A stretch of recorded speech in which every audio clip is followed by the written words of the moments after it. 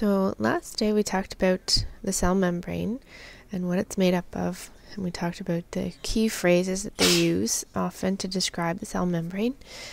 Um, today we're going to spend a little more time talking about how materials get across the cell membrane, either into the cell or out of the cell.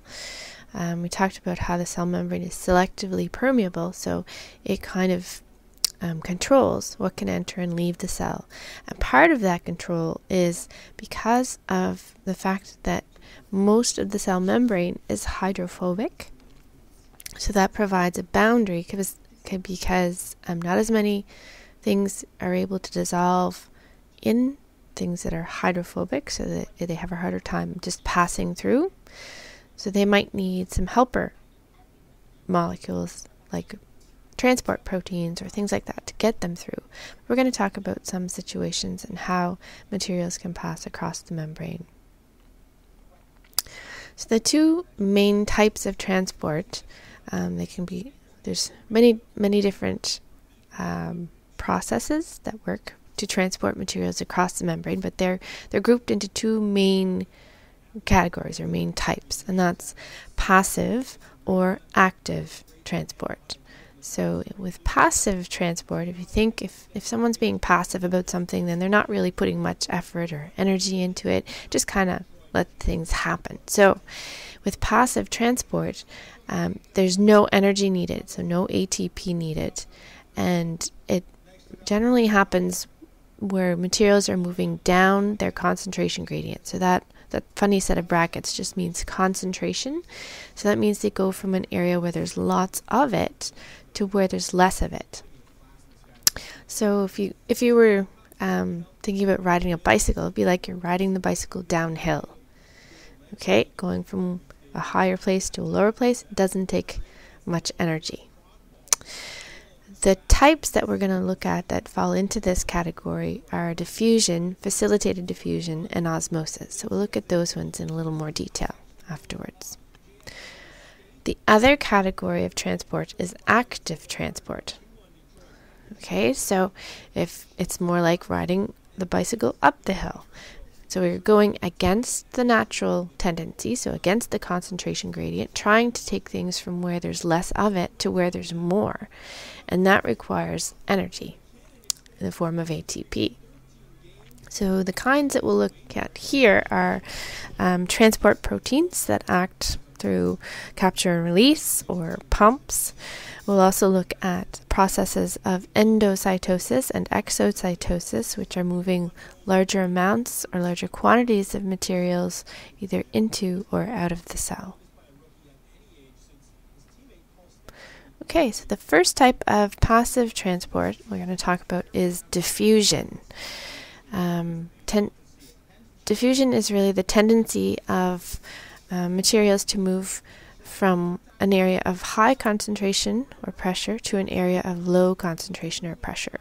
So this diagram is kind of showing a simple version of it. So there's lots of the red dots on this side and less over here. So this is an area of higher concentration.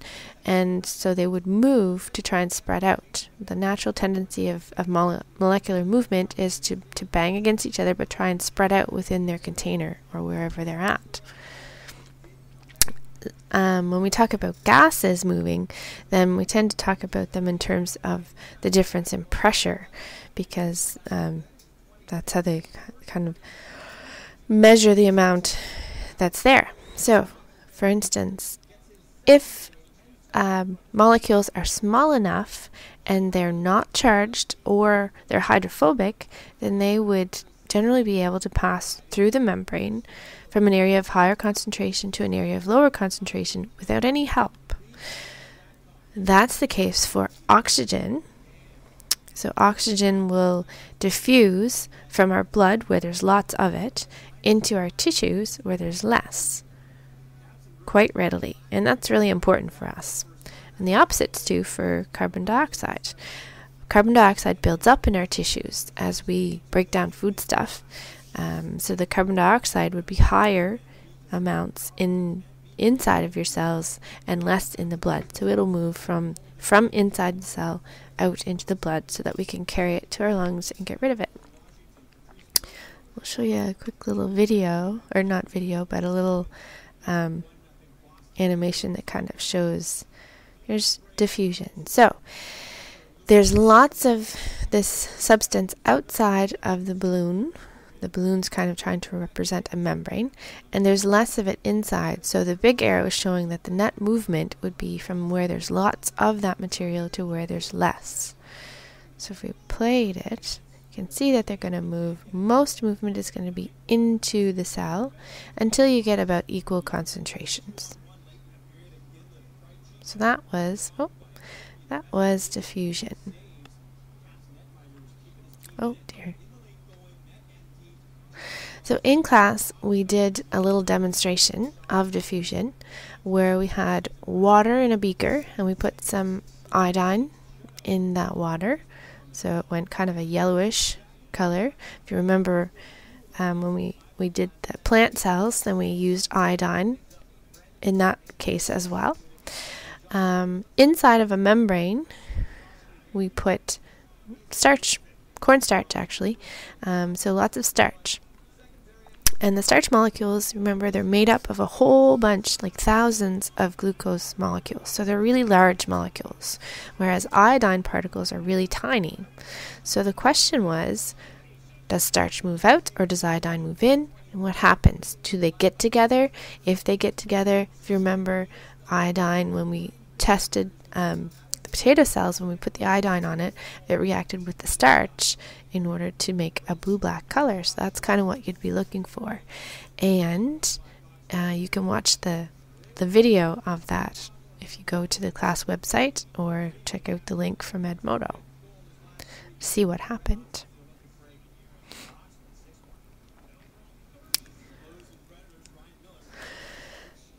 The second type of passive transport we're going to take a quick look at is facilitated diffusion. So with facilitated diffusion, it's it's still diffusion, so it, it's passive. It's um, a type where it doesn't require energy. Materials are going to move from where there's lots of it to where there's less. It's just that they can't get across the membrane without help. So they have a facilitator, which is usually a channel protein or a carrier protein that will help to move them across the membrane. So we're going to have a quick look at um, a carrier protein that, that helps to get glucose across the membrane. And we said how, you know, if you ate a meal, um, it, it triggers the release of insulin, which is a hormone um, from your pancreas, and that hormone will go and bind to the cells of your body and say, "Hey, there's glucose out there, but we need some um, helper proteins in the membrane to get it into the cells." So it's really important that that this type of transport can happen, so we can get energy in our cells. I'm just going to go back to get that link.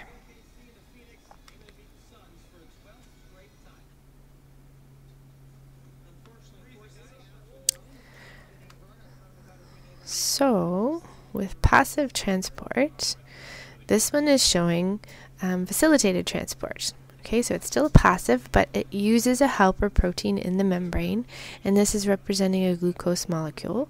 It's kind of a capture and release, but it doesn't require energy in this case. So it, it has to bind, it has to have the proper shape for it to bind to it. There'll be a conformational change in the protein. In other words, it changes its shape so that it can release it on the other side. And we'll watch a few of them in action. Oh. All right. So that was facilitated diffusion, where you still have them moving without energy from an area of high concentration, so on this side, to an area of low concentration, but they need a helper protein to get them across the membrane. The third type of passive transport we're going to take a look at is osmosis. And osmosis is really, it's a special case of diffusion, but it's diffusion of a certain substance, and that is water. So it's the movement of water from an area of high concentration to an area of low concentration.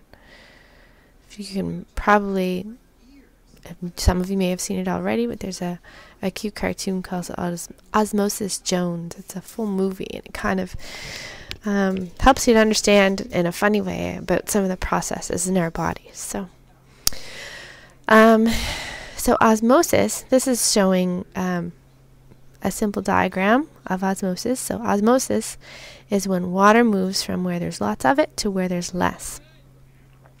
And it can be a little confusing at times. So I tend to try and look at it either, okay, well, where is there lots of water? So that is going to leave and go to where there's less of it.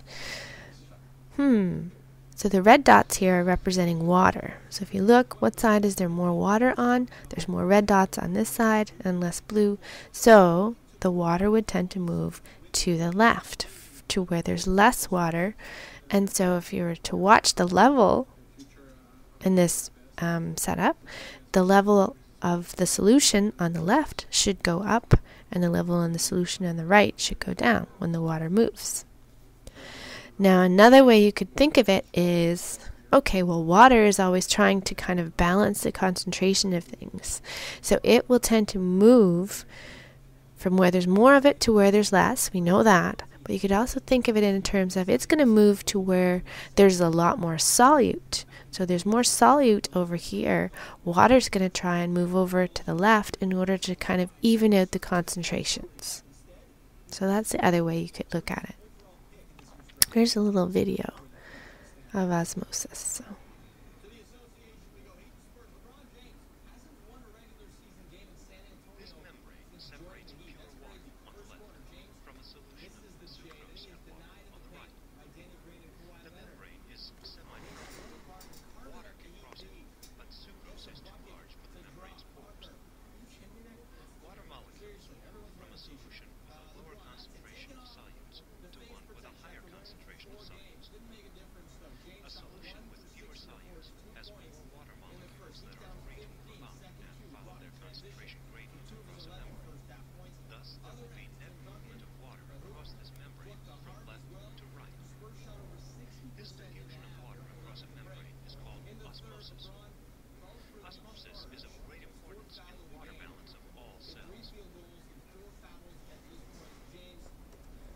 So that's just a simple visual for you.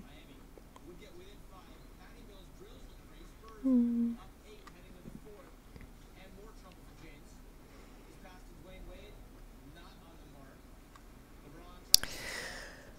Now,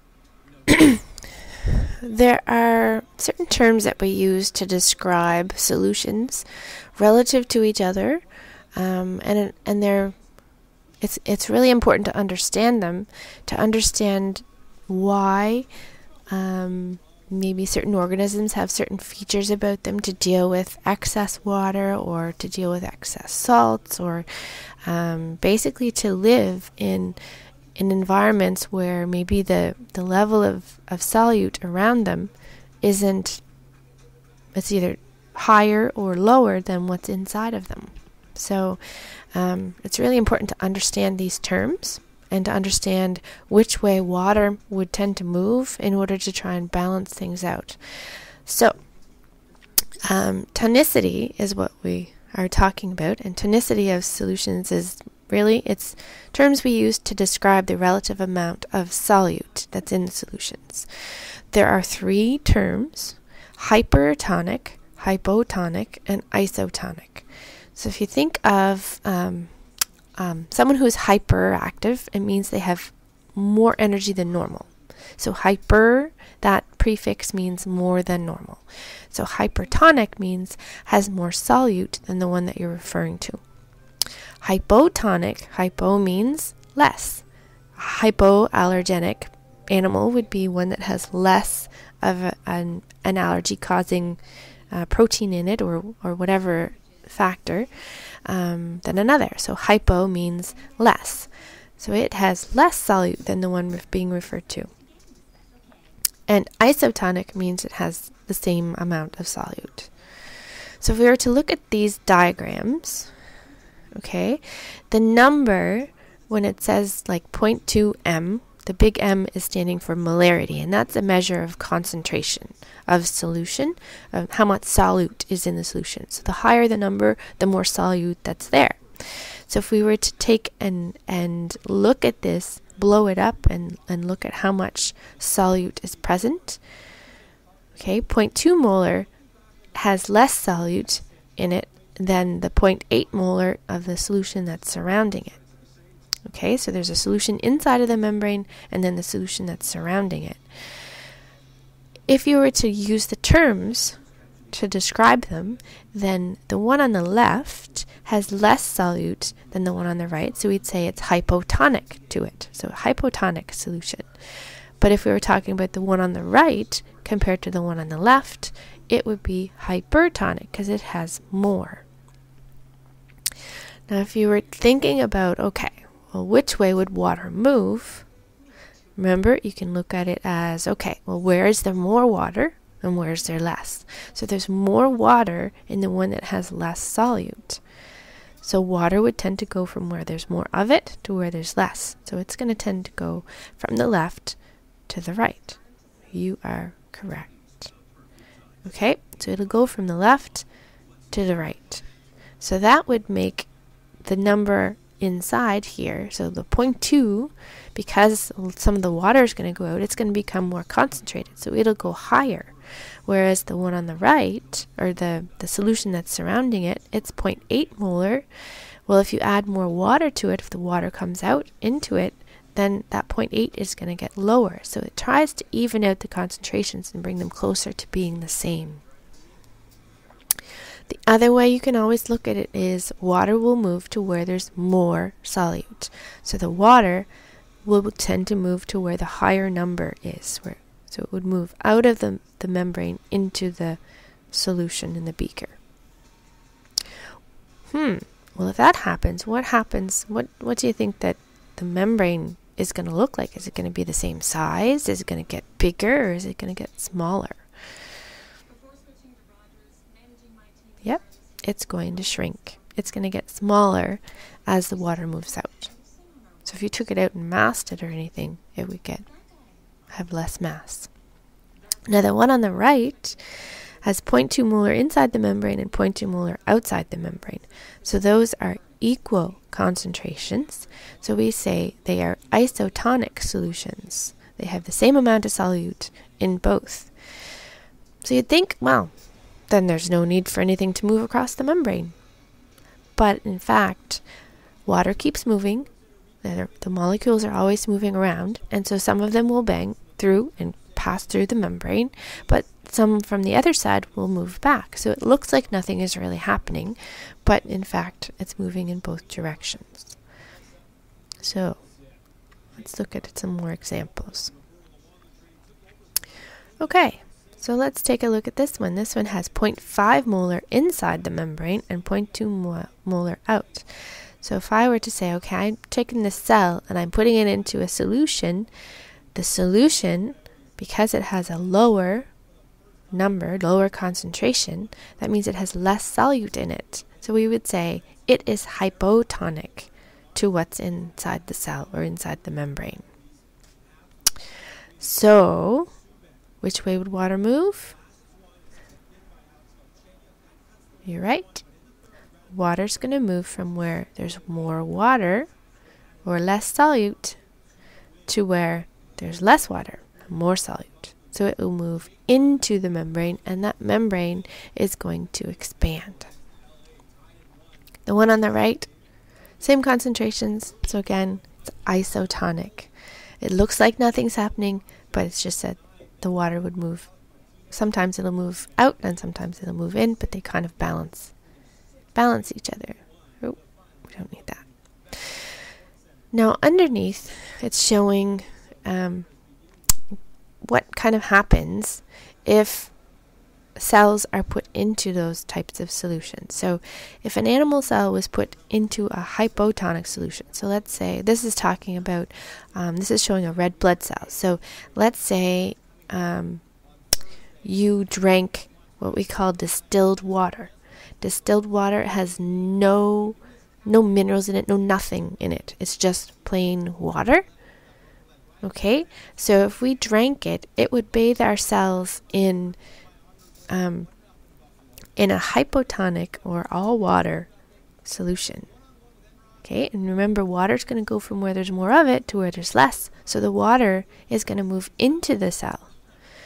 And unfortunately, our cells can only expand so much. If too much goes in, then those cells could burst because there's no cell wall to put pressure back against it. That's the same kind of situation as if you had, say, a little paramecium. Do you remember the paramecium that we took a look at? Well, they tend to live in freshwater ponds. And the freshwater has less solute in it than what's inside of the paramecium. Okay, so for the paramecium, they're surrounded by a hypotonic solution all the time. So water keeps on going in. Hmm. Well, normally it's an animal cell, so normally it would swell and burst. So, how can they possibly live in the fresh water?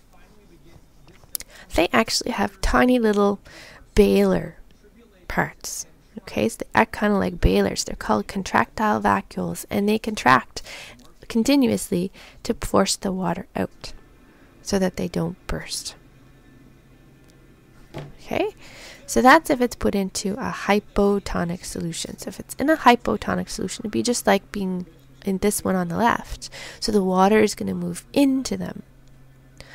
What happens for a plant cell? Well, if the water moves into it, then that water puts more pressure against the cell wall, but it just makes it it, it causes that turgor pressure. Remember turgor pressure? Makes it turgid. Tur yeah, turgor pressure. So that's what keeps it standing up tall. If you water too much for too long, though, they can be unhealthy plants. If it was an isotonic solution, then really you're not going to notice any difference, um, but there's movement in and out of the cell. If instead, though, it was put into a hypertonic solution, remember that means there's more solute around the outside of the cell, then water is going to tend to move from inside the cell where there's more of it to outside the cell to try and balance that concentration. So if the water leaves the cell, then the cell is going to shrink. Okay? For a plant cell, the cell wall isn't going to change shape, but the plasma membrane is going to kind of pull in and pull away from um, pull away from the cell wall. So that it, it kind of looks cool. Um, if it does it only a little bit, then the plant might wilt, and then as soon as you give it more water, then it'll be okay again. But it, it's called flaccid when it's only partly like that. But if it goes to the extent where the cell is probably going to die, we call that plasmolysis. Okay, and that's what we looked at when we did the demo um, and added, we looked at the red onion cells in the onion skin and we added salt. So we put it in a hypertonic solution to see what happens. So you should really watch that little video. That's linked as well from the class notes page and also from Edmodo. So that covers all the passive types of transport. The last ones we're going to talk about are active transport. Okay, so active transport, just a reminder, it's active. That means that it's like riding a bike up a hill. You're taking material from where there's less of it to where there's more, and it requires energy. But can you turn it down just one or two notches, please?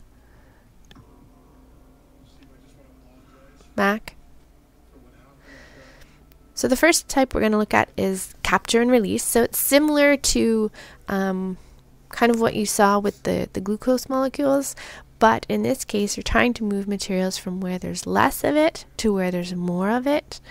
Um, so the protein uh, is going to bind a molecule that has a certain shape. Okay, so it won't bind this one and it won't bind this one, but it'll bind this one. It'll bind to it, but it requires energy and it changes its shape and releases it on the other side to where there's more of that substance. So it wouldn't naturally occur in that direction against the concentration gradient. So it takes energy. The second type we'll look at are pumps. So if you think of your water pump at home, um, the pump for it to work needs energy. We tend to plug them in. They have to have a source of energy for them to work. Okay, again, these pumps are working to try and um, put substances against their gradient. Um, the, a typical example is um, what happens with the sodium potassium pump, which is found in your nerve cells. Okay, so in order for your nerves to fire properly, we have to have a certain balance of sodium and potassium ions, and they we need a whole lot of sodium on one side of the membrane and a whole lot of potassium on the other. So we're we have to keep on pumping them so that um, we maintain those different concentration gradients, and then that causes um, kind of a, a another gradient that allows the message to work. Okay, allows an impulse to be carried out and and for your nerves to be able to fire. If that balance isn't there, if they're not on the right sides in the right amounts, then our nerves wouldn't work right. So, um, I think I can show you a little video of it too. Basically, three sodiums are pumped out of the cell for every two potassiums that are pumped in. And the pump requires energy. That's why that ATP is there. So it establishes that proper gradient of ions so it'll allow your nerves to fire.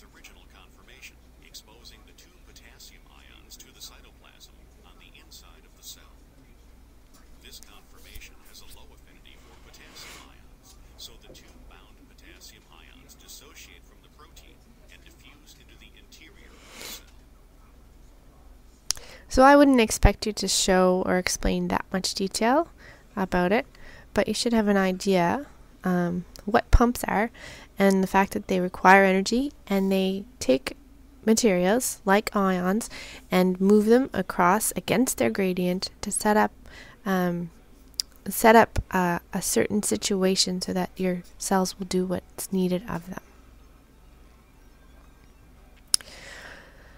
Okay, now we're going to talk about um, a larger scale movement of substances. So, um, endocytosis, if you think endo for enter, um, endocytosis is a process where materials or molecules that are too large to fit through the pores or channels that are in the membrane are moved from outside to inside. In other words, we're taking them into the cells. Now, there's three types of endocytosis.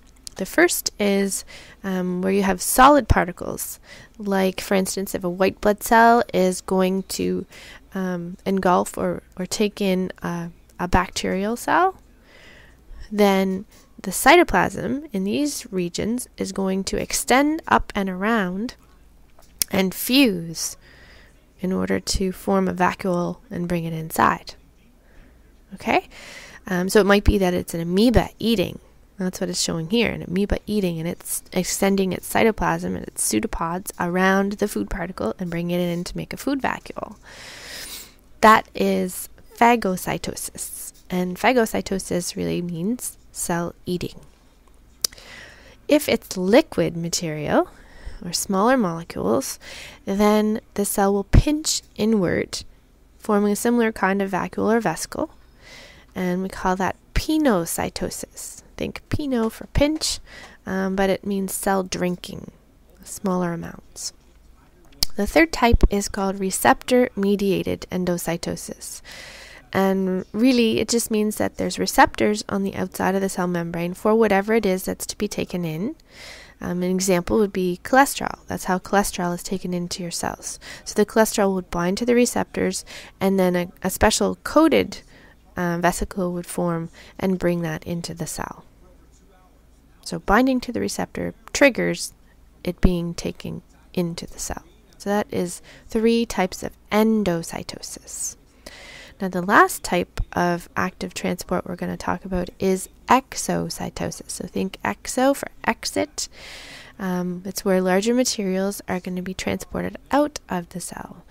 And you kind of saw this when you watched that kinesin molecule carry the vesicle to the to the membrane and allowed it to release its particles in the in the inner life video.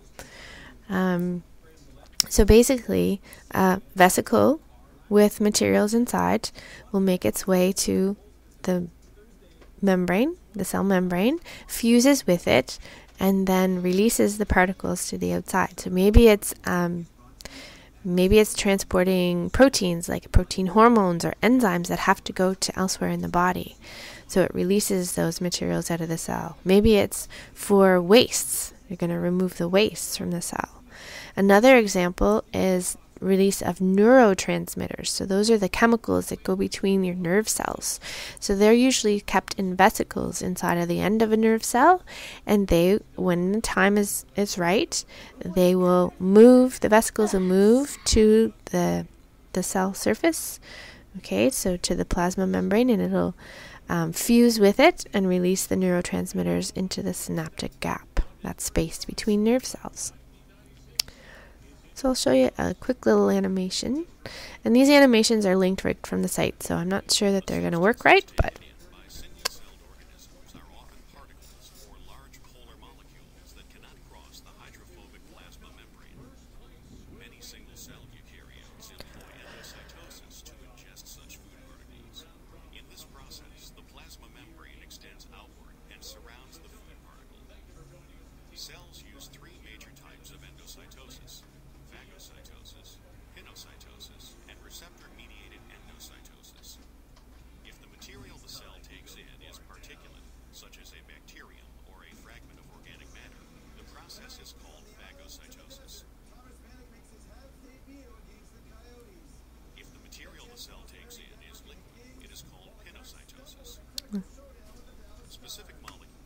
Now, if you notice, when it brought the liquid in, it made it look like the cell membrane reaches out, but it actually pinches inward more so.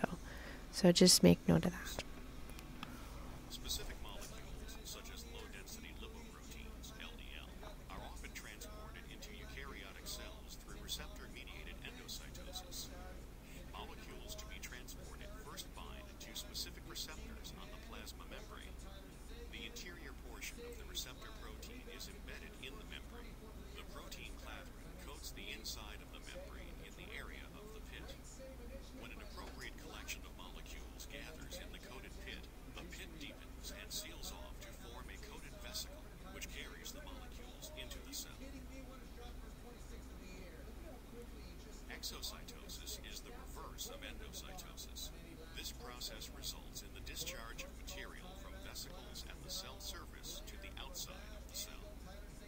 And if you notice, the membrane that surrounds that vesicle has become part of the cell membrane in the process.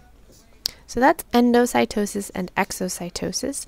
They both require energy, they're both active types of transport, and therefore larger materials or materials that cannot pass through the regular pores and channels that are in the membrane. So that is it for that section of um, chapter 2. We'll be moving on to talk about chapter 3, which deals with energy and photosynthesis and cell respiration.